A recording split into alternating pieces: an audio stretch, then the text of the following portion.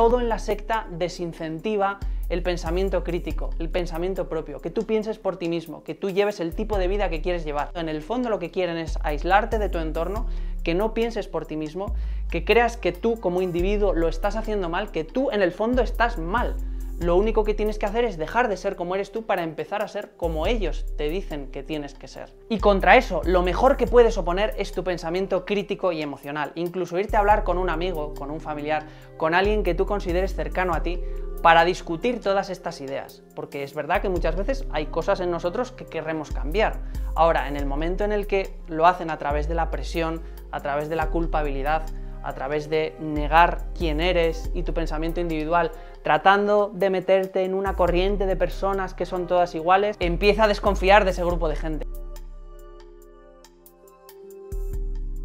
Y además de estas técnicas de adoctrinamiento están las técnicas de manipulación extrema, como técnicas de privación de sueño, técnicas de privación de alimentos, ayunos o hacerte comer muy poca comida, técnicas de castigo psicológico, como que todo el mundo te señala, todo el mundo se ríe de ti, castigo físico, toda una serie de técnicas que lo que llevan es a que te involucres en ese ritual, que para que no adviertas lo dañino que puede llegar a ser es el procedimiento es que el procedimiento es así, solo tienes que seguirlo, son una serie de pasos que tienes que seguir de manera mecánica, no hace falta que te los plantees, fíjate el líder que bien está, vamos a seguir todos estos pasos y al final lo que hace es que has dormido poco, has comido poco, en esa especie de retiro espiritual o encierro para que podáis llegar a desarrollar un poder interior o una capacidad de autocontrol o lo que sea,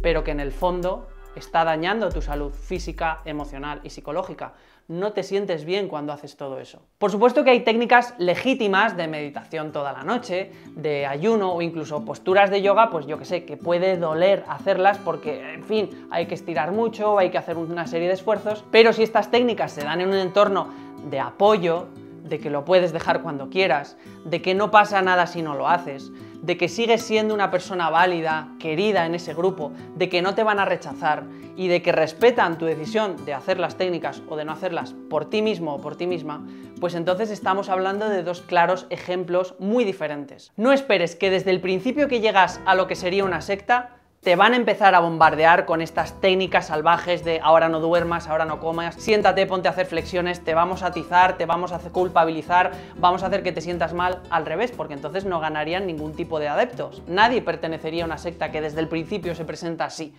¿Qué hacen? Una aproximación sucesiva, progresiva, poco a poco. Un día te presentan una charla a la que si quieres puedes ir, una cosa muy educada. Tampoco te van a obligar a firmar ese mismo día que has ido y vas a notar como que quieren captarte y te van a decir deja a tus familiares, deja a tus amigos, ven siempre con nosotros. Muy poco a poco van a intentar que te vayas implicando cada vez más con ellos que vayas algún día más a sus reuniones, que vayas a otro grupo de gente que ya lleva un poquito más de tiempo, para que tu compromiso cada vez sea mayor. Y la manera sutil de hacerlo es que cuentan contigo, que eres una persona que, bueno, está haciendo muy bien las cosas, se relaciona muy bien con la gente, de manera que van a intentar desarrollar vínculos de empatía contigo, de hacerte sentir bien, de hacerte sentir necesario, de hacerte sentir útil en ese grupo. En esa primera fase no te van a intentar separar de tus familiares y tus amigos, simplemente van a intentar que pases más tiempo con ellos. Y a medida que vas pasando más tiempo con ellos, van a ofrecerte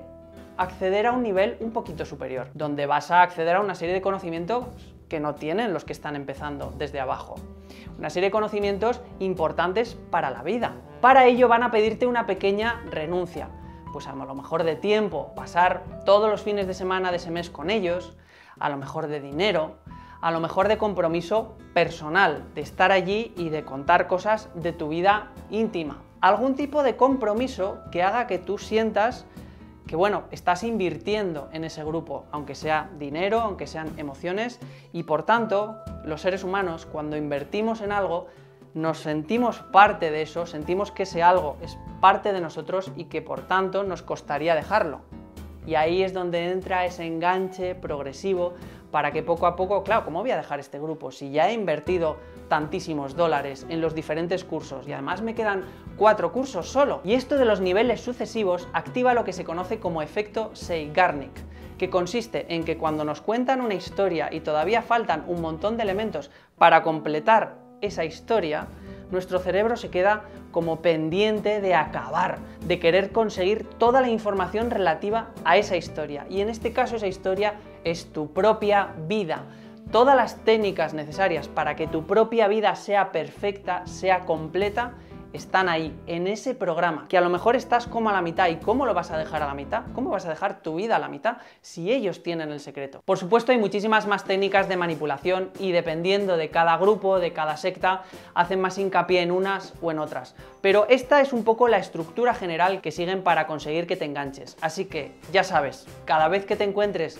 con un grupo que pretende mantener la única respuesta sobre la vida que intente separarte de tus familiares y tus amigos, que te haga sentir mal, que te haga sentir culpable y que además demande de ti dinero, atención, emociones y te separe completamente de un tipo de vida que era el que tú querías llevar porque te venden que tu vida estaba mal y que solo ellos pueden enseñarte la vida correcta,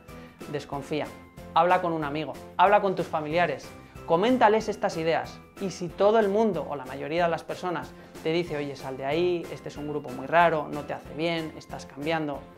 fíate de tus amigos, fíate de tus familiares, porque seguramente estés cayendo en las redes de un grupo que a lo mejor no es una secta, pero que en cualquier caso no te está haciendo ningún bien.